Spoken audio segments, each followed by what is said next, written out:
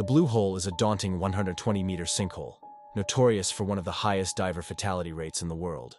But Stephen Keenan was a man who lived for the thrill and never shied away from a challenge. So what happens when the master of the depths enters an underwater cathedral at the edge of the Red Sea? Stick around as we uncover the chilling details of Stephen Keenan's last descent and reveal what went wrong for the seasoned diver. Stephen Keenan, or Steve as his friends called him, was an adventurer who sought out places few dared to explore. Originally a microbiology student, he transitioned to becoming a freediving instructor, trading his lab coat for a wetsuit, teaching across the globe, from Egypt to Spain to the Philippines, he inspired countless students with his love for diving and planned to follow his passion for the rest of his life. However, fate had a different plan for him.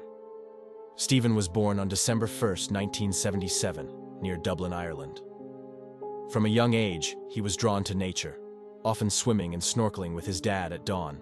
Always on the lookout for his next adventure, Keenan started his journey through the swampy waters of northern Congo. But the ocean had always held a special place in his heart and his passion for scuba diving drew him to Dahab, Egypt, a mecca for diving enthusiasts. It was there that he discovered freediving, a form of underwater diving that relies on breath holding until resurfacing, rather than the use of breathing equipment like scuba gear. This new pursuit quickly turned into an obsession. For years, Keenan and his friends pushed each other to dive deeper, turning it into a friendly competition and he even went on to set all three Irish national records in freediving. But after experiencing a severe blackout during one of his dives and narrowly escaping death, Stephen developed a strong interest in becoming a safety diver himself. His extensive experience as a free diver made him renowned as an exceptional safety diver, not just for his skill, but also for his uncanny ability to identify divers at risk.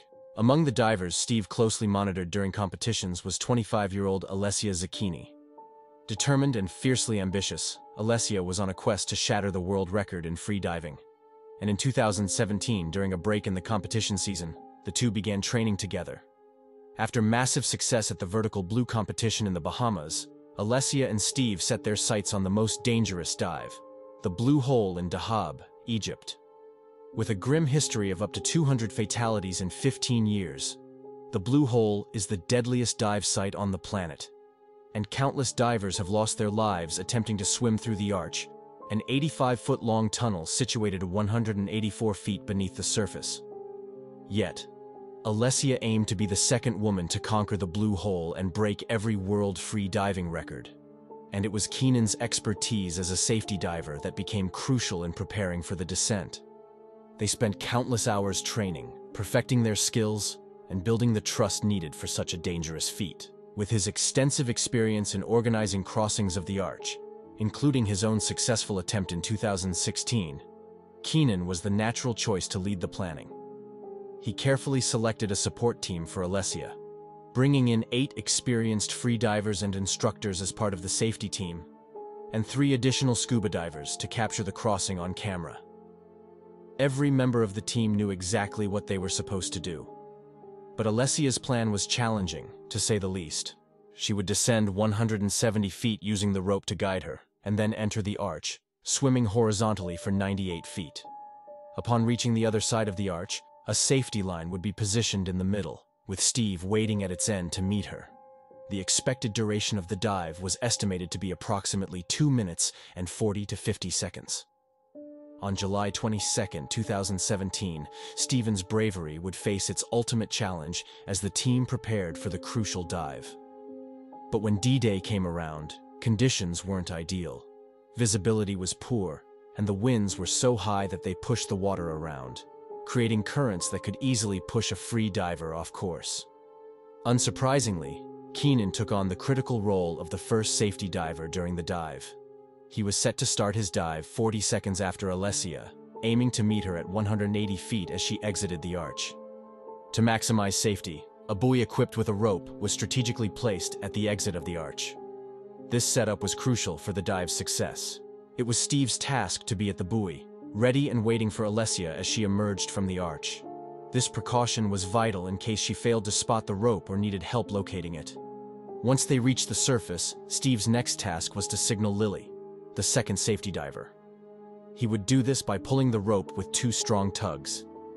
This way, Lily would know that everything was going according to plan and could start her descent down to 82 feet. Lily was in charge of watching Alessia during the final distance of her ascent, while the third safety diver would then look after Steve during the final part of his ascent. Everything was meticulously planned for this thrilling adventure. But even the best laid plans can crumble in the face of unexpected twists. What happened next was a series of small things not going as planned. Alessia started her dive perfectly, descending as scheduled and entering the arch, where two tech divers were filming her. Steve had instructed her to swim close to the reef wall on her right to avoid the divers on her left. Following these instructions, Alessia hugged the reef wall. It was her first time crossing the arch, so she didn't notice any change in light indicating she had exited. She kept following the wall, unknowingly swimming away from the rope in the middle. This was the first hiccup.